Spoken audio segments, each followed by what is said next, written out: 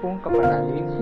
Ngayon po ay papakilan po na natin ang ating Panginoon sa pamamagitan ng awit 63, talatang 2 hanggang 9. Hayaan mong sa santuaryo'y kay aking mapagmasdan at ang likas mong kaluwalhatian at kapangyarihan. Ang wagas na pag-ibig mo ay mainam pa kaysa buhay kaya pupurihin kita, O Diyos, at pararangalan. Habang ako'y nabubuhay, ako'y magpapasalamat. At ako ay dadalangin na kamay ko'y nakataas. Itong aking kaluluwa'y tunay na masisiyahan. Magagalak na umawit ng papuring iaalay. Laman ka ng gunita, gunita ko samantalang nahihimlay. Magdamag na ang palaging iniisip ko ay ikaw. Ikaw ang aking, ikaw ang sa akin tumutulong sa tuwina. Kaya sa iyong pagkupkup, ligaya kong awitan ka. Itong aking kaluluway sa iyo lang nananalig. Kaligtasan ko'y tiyak dahil sa nakasandi. Ngunit silang namaba, nagbabantang kumitil sa aking buhay. Sila nga ang masasadlak sa malamig na libingan. Papuri sa Diyos at pasalamatan natin siya sa lahat ng mga biyayang ating tinanggap sa buong araw na ito. Maraming salamat po. Ngayon po ay nasa ikadalawamput-anim na tayo sa linggo ng pangkaraniwang panahon. Mabuting balita na ating pagninilayan po ngayon ay ayon kay Mateo, Kapitulo 18, talatang 1 hanggang 10. Ng mga sandaling iyon, lumapit kay Jesus ang mga alagad at nagtanong, Sino po ang pinakadakila sa kaharian ng langit? Tumawag si Jesus ng isang bata, pinatayo sa harap nila at sinabi, Tandaan ninyo, kapag hindi kayo nagbago at naging katulad ng mga bata, hindi hindi kayo makakapasok sa kaharian ng langit. Ang sinong mang magpakababa na gaya ng batang ito ay siyang pinakadakila sa kaharian ng langit. Ang sino mang tumatanggap sa isang batang katulad nito alang-alang sa akin, ako ang kanyang tinatanggap.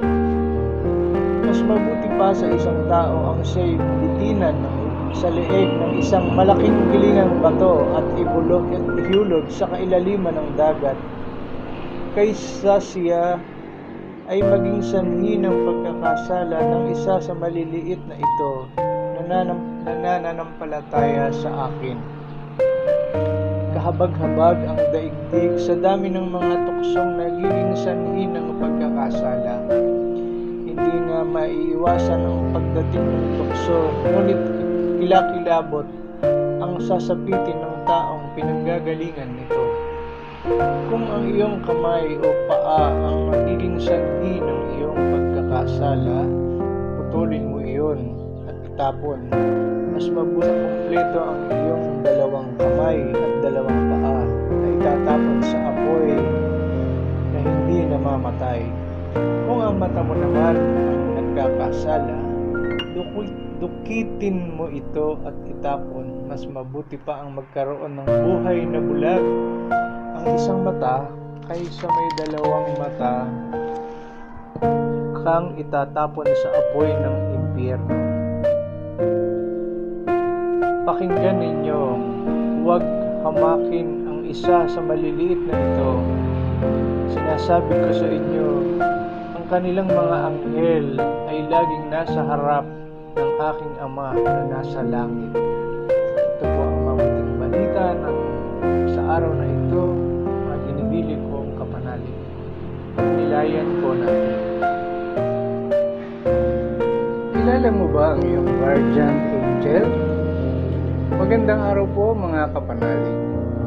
Kapistahan ngayon ng mga banal na anghel na tagatanod o kilala sa tawag na guardian angel.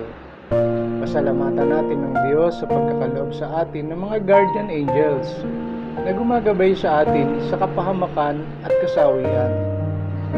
Ako ang iyong kapatid, At pakinggan natin ang pagtatanong ng mga alagad kung sino ang nauna sa kaharian ng langit sa mabuting balita natin ngayon. Alam mo ba kapanalig na may isang anghel na nagbabantay bilang isang tagatanod sa bawat tao? Ngayong kapistahan ng banal na anghel na tagatanod, pinapaalala sa atin ang presensya ng mga anghel sa ating buhay pananampalataya. Galing ang salitang anghel sa salitang Latino na angelus na ang ibig sabihin tagapaghatid ng mensahe Katulad sa mabuting balita ni San Lucas, talata 1, kabanata 26, kilala si Anghel Gabriel bilang tagapaghatid ng mabuting balita kay Maria.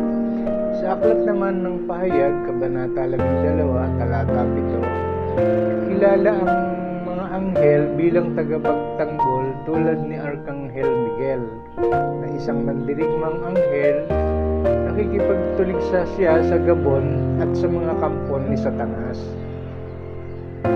Palaging may kaugnayan sa pagliligtas ng Panginoon ang mensahe ng mga anghel.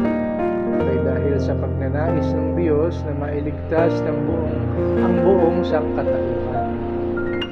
Pero kung may mabubuting anghel, mayroon ding masasamang anghel na naghahatid ng kasawian sila ang tinatawag na fallen angels.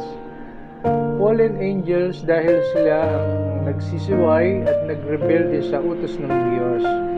Naghahatid sila ng kasinungalingan at iba pang masasamang bagay. Kaya nga pinag-iingat tayo laban sa mga anghel tulad nila. Dahil hindi lahat ng anghel na tinatawag o kinakausap natin ay aprobadong anghel sa simbahan, lalo na kung hindi nakasaad ang kanilang mga pangalan sa Biblia. Kung tunay at mabuti ang isang anghel, wala siyang hangad kundi ang kaligtasan ng isang tao mula sa kasawian at kasalanan. Makikita at madarama ang presensya ng anghel sa paraan ng pamumuhay ng isang tao mga kapanalig, palagi mo bang kinakausap ang iyong guardian angel? Sa pang-araw-araw mong gawain, palagi mo ba siyang hinihingan ng tulong kapag gagawa ka ng maliliit o mabibigat na desisyon sa buhay? Tulad ng guardian angel, naghahatid ka rin ba ng mabuting balita?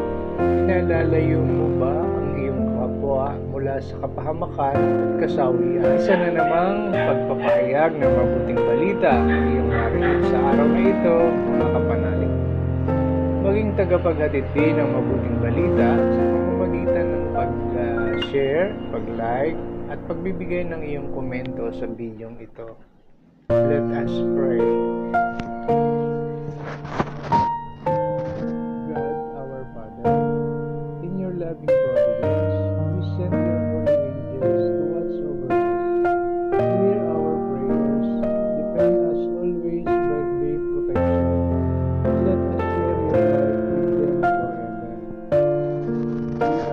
Christ, through our Lord Jesus Christ, your Son, who lives and reigns with you in the